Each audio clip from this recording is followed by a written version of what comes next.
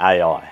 AI presets, what are they, how do they work, and are they for you, are they for me? Let's take a look in this video.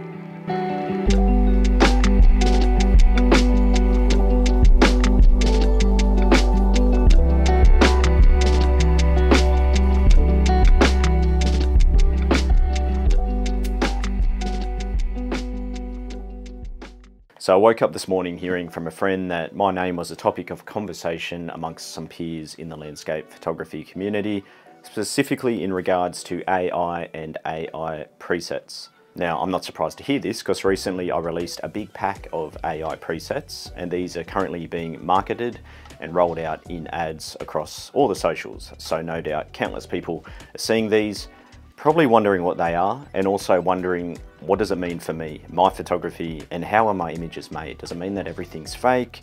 Is it made up? Do I just make all my photographs sitting here in the office, etc. So let's have a look at the AI presets and then I want to go down the road of philosophy a little bit, workflow and products and business. Firstly, what is a preset? Well, a preset is where you can do an edit on an image and then save the adjustments to then apply that over and over again on different images. It's a great way to streamline your post-processing. Presets have been around forever, over a decade, and they're used by different people all across the industry.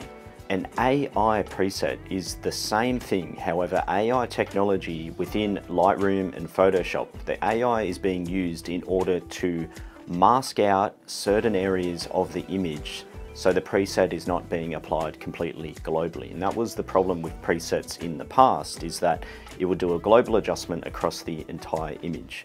The AI is now allowing for the preset to be adjusted for every single RAW file specifically to get better results. So if you have a look here, you can see that the preset's being applied, but when we go over to the masking, it's perfectly masked off the mountain, for example. In the past, that wouldn't have happened. The preset would have applied across the whole image. If we open up a different RAW file, the AI technology will mask the preset off the other subject matter. So it's quite intelligent in the sense that it's going to read every single RAW file individually and then apply the adjustments specifically for that image. Now for us as creatives, there's so many ways that we can utilize AI, but it's up to us as individuals to determine what we want to use and what we don't want to use. So at the moment, I've noticed the last six or 12 months, there's people completely creating images using AI from scratch and then sharing that online and it it's pretty much looks like photography really.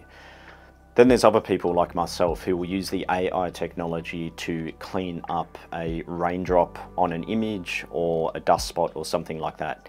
In the past, I would do that manually in Photoshop and it would take anywhere from five to 10 minutes for example. The AI technology is allowing us to do this instantly. And for me, the less time I'm spending in front of the computer, the better.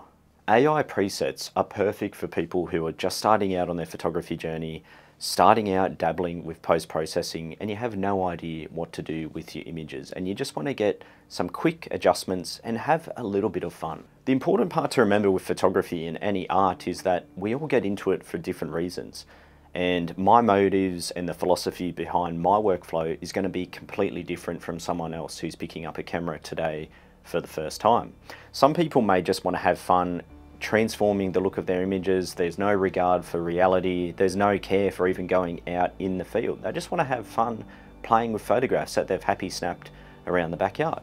Then you get people like me who kind of have a few screws loose. I have this problem where I need to be out in the field experiencing moments that move me. I want to be humbled by nature. When I first picked a camera up over almost 15 years ago now, I was in a bad state. I was struggling with depression. I was at a point in my life where, to be honest, I, I didn't want to be around anymore. And I was numb to everything. I had no emotion in life. It's like the colour was stripped from my life. The photography came in as a real blessing from the Lord. And it really has changed my life in every way and I get goosebumps talking about it now. I wouldn't be here. I wouldn't have my wife and my two young children. I wouldn't be living here in New Zealand if it wasn't for photography, but primarily it's what the camera can do. It can get you up, it can get you outside, and it can get you looking and experiencing at things which are far greater than anything man can ever make. There's something incredibly powerful in that. It's very humbling, And for me personally, it started to put that colour back into my life. It started to put that joy and it started to make me feel things again after being so numb. What I fell in love with was not actually really making the photograph. What I fell in love with was being outside and seeing things which are just fleeting and I know I probably won't ever experience it again. Storms out across the ocean, standing inside a sea cave, watching a lightning bolt just blast the horizon in front of me. Rainbows just stretching across a fjord, rainbows perfectly arching over sea stacks. You can make all that up in Photoshop. You've been able to do that for over a decade now. Now with AI, you can make it all up just like that with the click of a mouse. If that's what you want to do with your work, that's fine. There's no rules here. It's fun. Be creative. It's not how I use the technology though. It's not how I use Photoshop and it's not how I use a camera. I'm using the camera as something that accompanies me and it's my way of expressing my experiences of a place. If I'm out there and I don't feel it in my chest, if I'm not being moved, if things aren't doing exactly what I hoped with the light, then you're never going to hear about it. You're probably never going to see that image. But eventually, because I do have a few screws loose, I will be there when that moment happens because I never give up. And that's what I've done since day one it's just something inside of me that isn't quite satisfied. Even when I finally get there and witness that moment, there's almost a bit of disappointment because that's it, the moment's gone and I can never relive that moment again. And the image just serves as a little bit of a representation of my given point in time. A preset, someone's editing workflow, that's all individual and up to each person how they want to do it. I've made these presets here as a way to help beginners just have a bit of fun with their raw files, transform the look of their images. I know when I first started out, I didn't want to touch editing at all. And then I went the other extreme and got a bit carried away with it and went too far. And then I kind of found my own little rhythm and groove and look, which I felt really did justice to the raw files and what I was experiencing out in nature.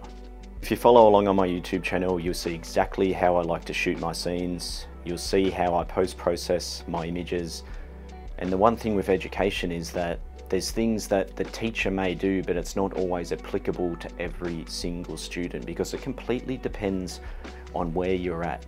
And the problem with something like social media and running ads or even putting a video out is that it's getting broadcast to every single person, from the absolute amateur to the seasoned professional. The same message is getting put out there. For those people that have come out here and joined me in the field, I've had the privilege of teaching so many people through workshops. Thank you, because you know what this means to me, this artwork, and you know how much I just love pursuing those moments, reading the weather, exploring, and just being humbled out there. For all of you who keep watching the YouTube channel, thank you. It means so much, and I intend to keep making more. So let me know what else you want to see here on the channel. For those of you who have learnt from me online through my various tutorials, whether here on YouTube or in the courses that I release, thank you so much because I get a hater every now and then, but for every hater, there's 10 times more people just letting me know that I've really helped you understand your camera, understand the post-processing, or when it comes to something like presets, it's just giving you a bit of joy and fun in the beginning of your photography journey. So I wanted to clear the water there. If you know me, if you know what I stand for, you know the work I make, thank you. Hopefully that's transparent in everything across my socials.